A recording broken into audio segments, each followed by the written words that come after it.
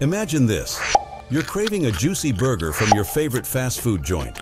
You pull up to the drive-thru, only to find the windows boarded up and the once bustling establishment now eerily silent.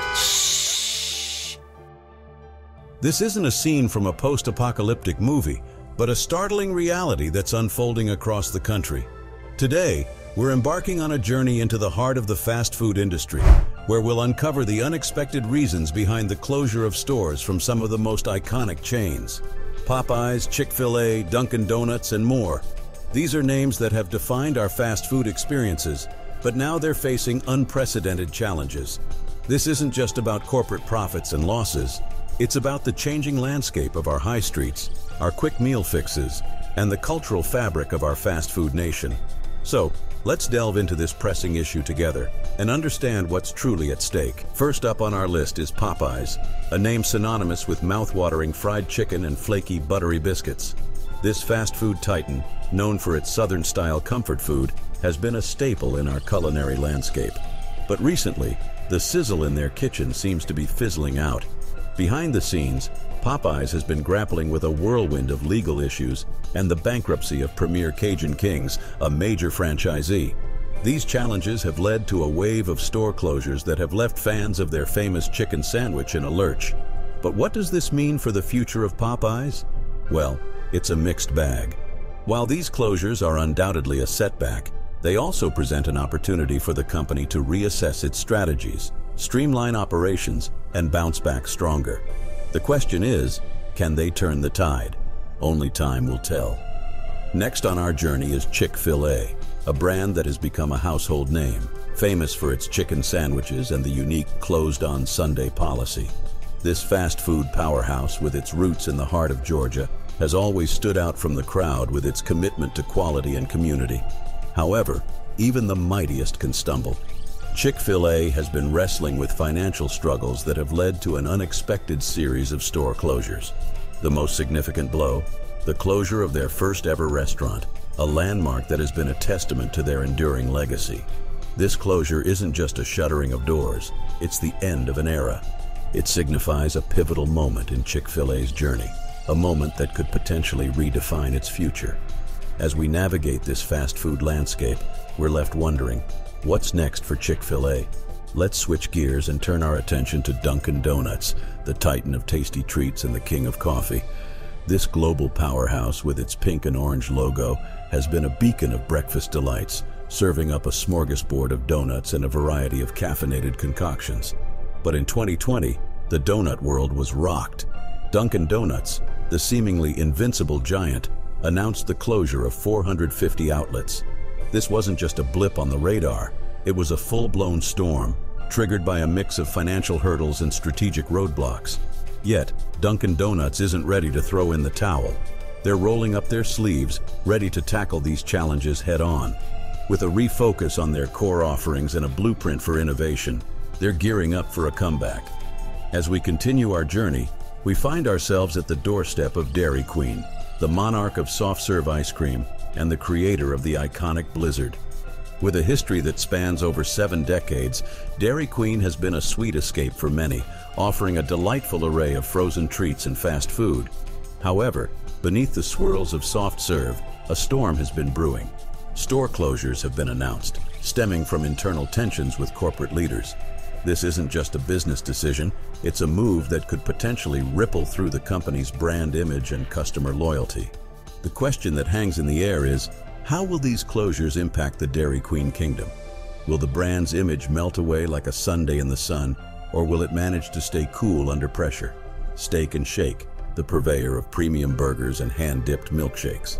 With its retro diner vibe and commitment to quality, Steak and Shake has carved out a unique niche in the fast food world. But recently, the sizzle of the grill has been overshadowed by the chill of financial challenges. Store closures have been announced, a sobering reminder that even the most beloved brands aren't immune to economic pressures. These closures aren't just a loss of physical locations, they could potentially erode Steak and Shake's market share. The fast food landscape is fiercely competitive, and every closure could open up opportunities for rivals. Navigating further into the fast food landscape, we arrive at Krispy Kreme, the donut dynasty that has been sweetening our lives for decades. From their humble beginnings to their iconic original glazed, Krispy Kreme has a rich history that's as enticing as their donuts. However, the company is now at a crossroads. With a new business model on the horizon, Krispy Kreme has announced the closure of 14 locations in 2023. This strategic shift is more than just a business decision. It's a pivotal moment that could shape the company's future trajectory. The implications of these closures are far-reaching. They could potentially impact Krispy Kreme's growth and expansion plans, posing new challenges for the donut giant. Let's dive into the world of Quiznos, a brand that has carved out a niche in the sandwich market with its toasted subs and bold flavors. Once a formidable player in the fast food arena, Quiznos has been facing a series of challenges that have put its standing in the industry to the test. Financial instability has been a key player in this saga, leading to a wave of store closures that have left a noticeable gap in the sandwich market. These closures aren't just a loss of physical locations, they represent a significant shift in the company's business landscape. The impact of these closures on Quiznos' competitive position is a crucial aspect to consider. With every store that shuts down, there's a potential for competitors to seize the opportunity and capture a larger market share. It's a delicate balancing act, maintaining brand identity and customer loyalty while navigating financial hurdles.